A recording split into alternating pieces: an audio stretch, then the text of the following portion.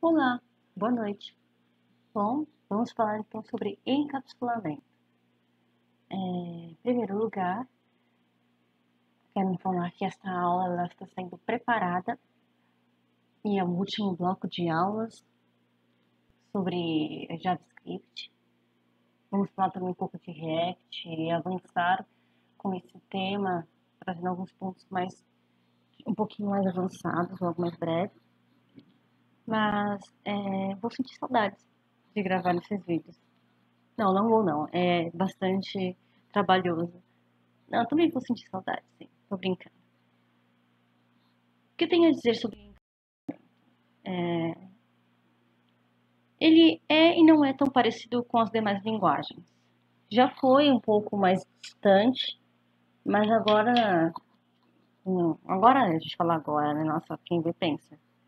Mas com o uso do S6, tornou-se mais próximo às linguagens mais parrudas, né? De servidores, C Sharp, PHP. Muito provavelmente, quando você já começa a trabalhar com orientação direta no JavaScript, é dessa forma que você vai conhecer a questão do encapsulamento. A ideia do encapsulamento é você, é, bom, vamos lá, é, é, permitir, né, que as informações internas elas permaneçam ocultas e sejam acessadas através de algum método específico. A gente chama esses métodos de getSet, mas é, do atributo que está sendo usado.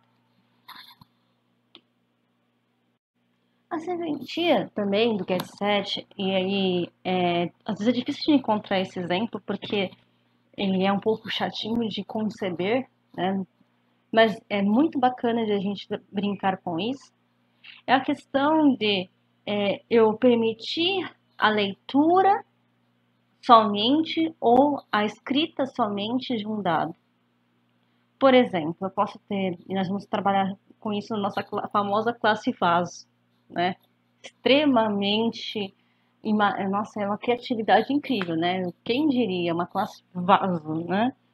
Tanta, tanta, tipo, tantos tipos de classe para ser utilizado: pessoa, atleta, postagem. Vamos usar uma classe chamada vaso. Mas por quê? Para a gente sair da casinha. O quê? Sair da caixinha. Isso é importante. Nos leva a perceber que pode estar atrelada a qualquer objeto do mundo real. Um vaso, por exemplo. Qual é a regra de negócio do seu sistema? Bom, então, vamos lá, mãos na massa. Mãos na massa, mãos na obra, enfim. Ops. Bom, vou abrir o meu famoso, famigerado, conhecido, fofinho Sublime. Ok, Sublime, tudo bem. Eu estou com a classe vaso aqui já apresentada. É, estamos trabalhando na pasta aula 15, onde eu coloquei o servidor é, HTTP para direcionar para esta pasta, para direcionar dessa pasta, é o local dele, né?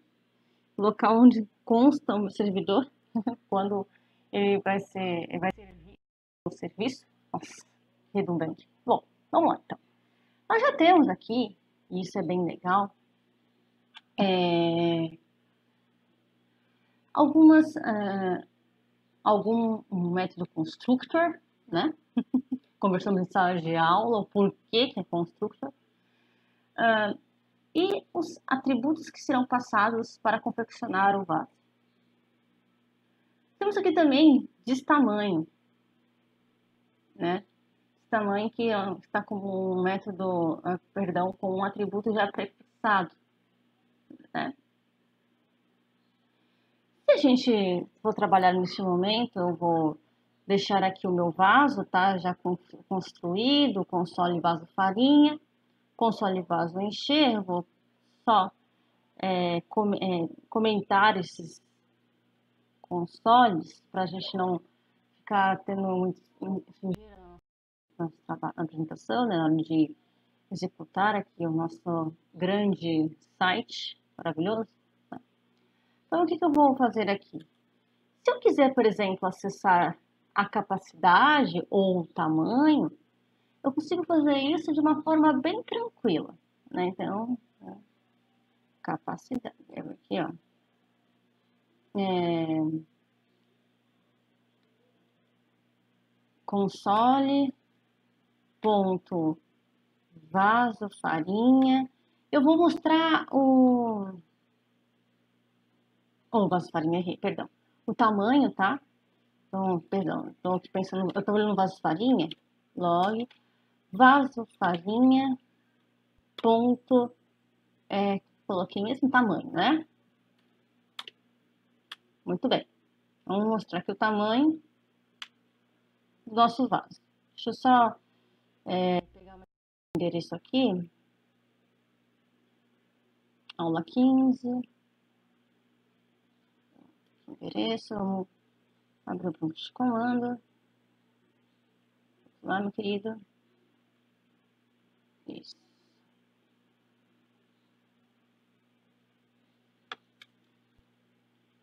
HTTP server. Starta aí.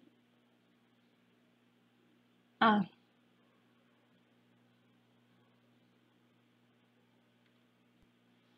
Brincadeira, sempre faço isso. Sempre esqueço o R. Muito bom, obrigada, hein, Agora vamos pegar para outro prompt, só poder deixar esse filho da vida. CD. Tudo bem. Então, Node. Eu, eu não tinha nem ter feito isso, porque se não tô eu não fechei. Olha só, deixei o servidor rodando. Eu não tinha fechado o servidor. Essa brincadeira. Não tem problema. Vaso.js. O máximo que acontecer a constructor. Ah, perdão, gente. Eu deixei duas, é, dois métodos aqui abertos. Peraí. Ó, eu deixei dois constructors, né? Lembrando, não pode ter dois métodos construtores. Não tinha nem atentado a isso. Não tem problema. A gente corrige. Isso aqui foi até em aula que a gente estava testando, né? Olha lá, 1.5. Então, eu consegui trazer o, o, tamanho do meu vaso. E o que, que aconteceria se eu trabalhasse com os métodos get e set, confeccionasse os métodos get e set na minha, na minha aplicação, no meu site, logo veremos. Bom, então agora vamos experimentar é, os métodos get e set. Mas vamos deixar bem claro. O método get, a sua função é exibir. É exibir, né? Permitir o acesso, na verdade, do atributo. Ok? O método set, ele vai permitir é, atribuir um valor ao atributo. Muito bem. Uma vez é, já deixado isso bem claro, vamos agora então é, trabalhar com nossos é, argumentos né, que foram passados, cor, capacidade e material, né?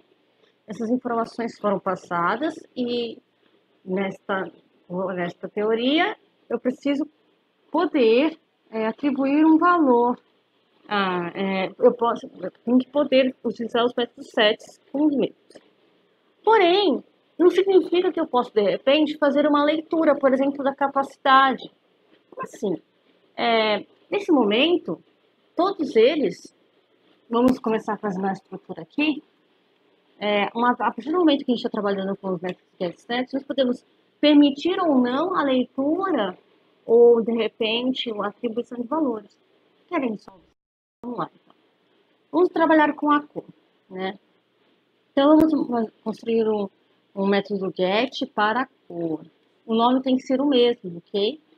É, senão ele não vai entender cor, né? E opa, ele vai retornar para a gente a cor.